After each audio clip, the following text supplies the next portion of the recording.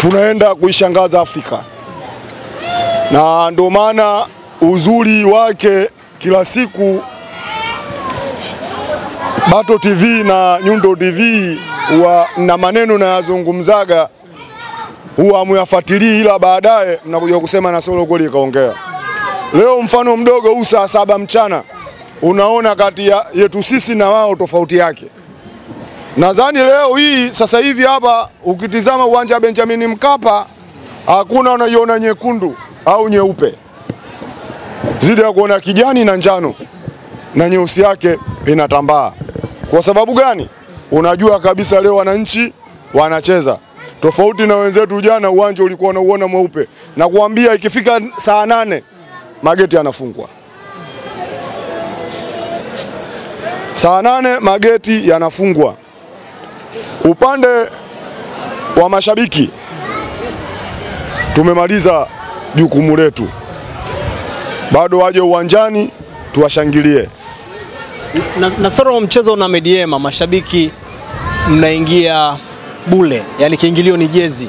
Unadhani kwa Yanga hii ambayo wengi tunaamini ya kwamba Young Africans ni kubwa, unadhani inastahili kule mashabiki wake kuingia bule pasipo kuchangia chochote kwa club? Ujue, ujue Bato, unanifurahisha sana unavyoniulizaga maswali kama hayo. Kwa sababu gani unavyonifurahisha? Ujue Yanga wanahesabu mbali sana na hesabu kali mno, yaani mtu mwingine mpaka kuja kuichambua kuipata hesabu yake inakuwa vigumu. Jezi ya Yanga moja inauzwa bei gani? Hakuna jezi ya Yanga inauzwa 35 blaza. Jezi ya mwaka huu ya Yanga, jezi ya Yanga inauzwa shilingi elfu hamsini. Sawa. Jezi ya Yanga moja inauzwa elfu hamsini. Sawa, mashabiki wangapi wamevaa jezi ya Yanga wanaingia Benjamin Mkapa? Ni wengi. Ni wengi. Je, katika elfu tatu katika elfu hamsini kuna elfu tatu ngapi? Ndo akili ya Yanga iko hapo. Wewe unasema watu wanaingia bure, kumbe watu wanaingia kwa thamani ya elfu hamsini kwa sababu jezi ya Yanga inayovaliwa ina thamani ya shilingi elfu hamsini na ndio maana unaona leo jezi nyingi mpya hapa unaona zimevaliwa. Hakuna jezi zilizovaliwa za mwaka uliopita, na ndio maana unaomba kuna tofauti tu sisi na wao. Timu bora yoyote, timu bora yoyote lazima inakwenda kima- kimipango, na nawasikia wanapiga sana kelele kuhusu masuala ya kuingia uwanjani bure. Nataka kutoa ufafanuzi.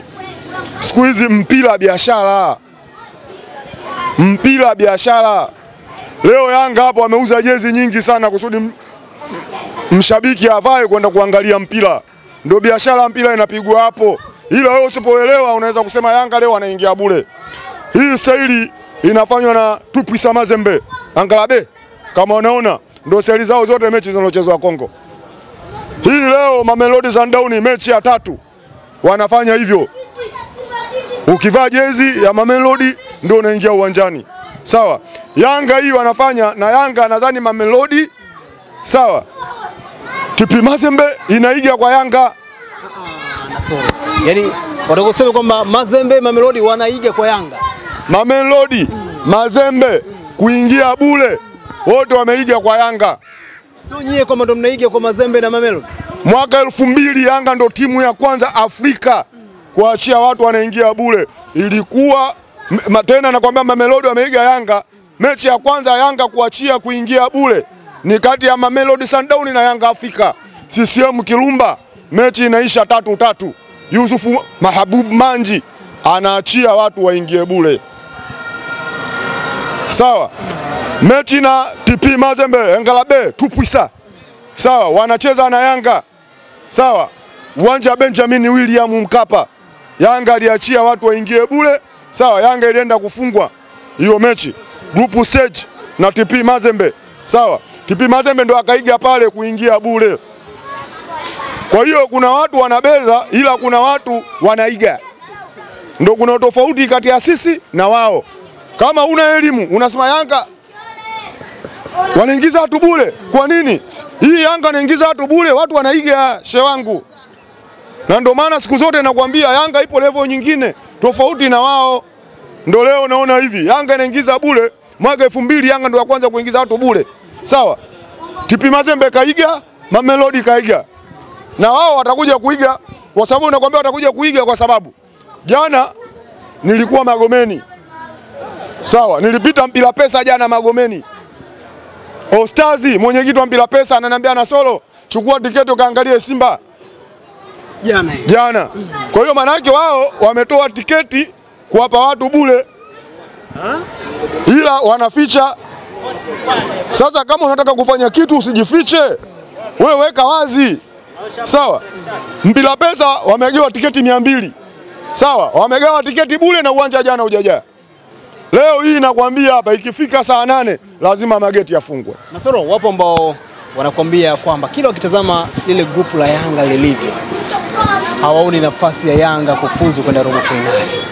Wengi wao wanazipa nafasi Al Ahli pamoja na Bilogdad. Yanga haipewi nafasi pamoja na Midiema ya kuvuka.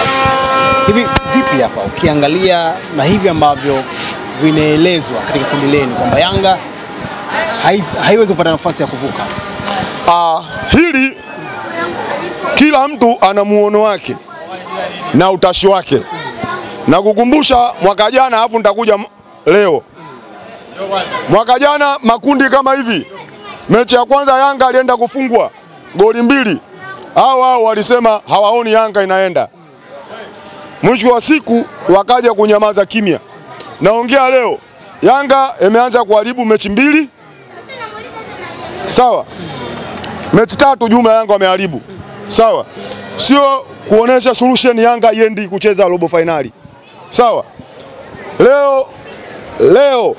Nazungumza tena leo, ndio watu wanaenda kuijua Yanga kitu gani na Yanga inaenda kufanya kitu gani leo, na mimi nakwambia hii na hifadhi, Yanga inaenda kucheza robo fainali. Wapo wanakuambia kwamba Yanga wanatakiwa mjifunze sana kwa Simba kwa sababu ndio role model wa mpira wa Tanzania kimataifa. Bwana, wanakuambia mjifunze kwao. Mimi Jana walichokifanya, si umekiona? mimi nimeona kwanza, nikuseme mimi kwanza, jana nimeona na nashangaa wanavyoshangilia? Ewa, katika kundi lao hakuna timu mbovu kama Wydad. Hebu nitajie kwenye kundi lao nani hajamfunga Wydad? Nitajie, na kama kuna mtu atatokeza mbele hapa kusema eti waidadi Wydad kamfunga mtu kwenye kundi lile, mimi navunja kadi ya Yanga, sipendi tena Yanga. Sawa, Wydad mbovu. Wydad kwenye kundi lile hakuna mtu asomfunga Wydad, kila mtu kaifunga Wydad. Yeye sio bado pa kuongea yeye. Na pili, ukisema Yanga wamuige Simba, si yule wa Simba? Hapana, hakuna kitu alichokifanya wao kuzidi Yanga. Kwani robo fainali Yanga hajacheza? Shirikisho. Hiyo hiyo klabu bingwa Yanga hajacheza. Shirikisho Yanga kacheza fainali. Shirikisho Yanga kacheza fainali, yeye hajacheza. Shirikisho Yanga kacheza mwaka jana. Mwaka jana akacheza, tunaelewa. Kwa ubingwa. Kwa ubingwa Yanga mwaka 98 kacheza robo finali. katolewa na Raja Casablanca. Sawa. Sasa sisi tuwaige nini kama robo finali sisi tumecheza na wao wamecheza? Kama angevuka zidi ya robo finali kwenda nusu finali, mimi ningesema watu wa Yanga tumuige yeye, lakini sisi hatuwezi kumuiga yeye. Hakuna kitu alichokifanya yeye zidi ya Yanga hajakifanya kwenye nchi hii. Bwana Nasoro, mimi nadhani tukauangalie mchezo baada ya dakika 90 kumalizika, tukutane tuzungumze tena. Hii, Eh. hii nataka nikuambieni na nataka kuweka ahadi hii, kwa sababu mimi ujue, nikiweka ahadi unaona inatimia. Niliweka ahadi kocha wa Simba hadi Krismasi na ajala Krismasi, sawa, akaondoka na nakwambia leo tunaenda kushuhudia kuanzia goli tatu hadi tano zinapatikana. Kama uongo au ukweli, tukutane baada ya mechi kwisha.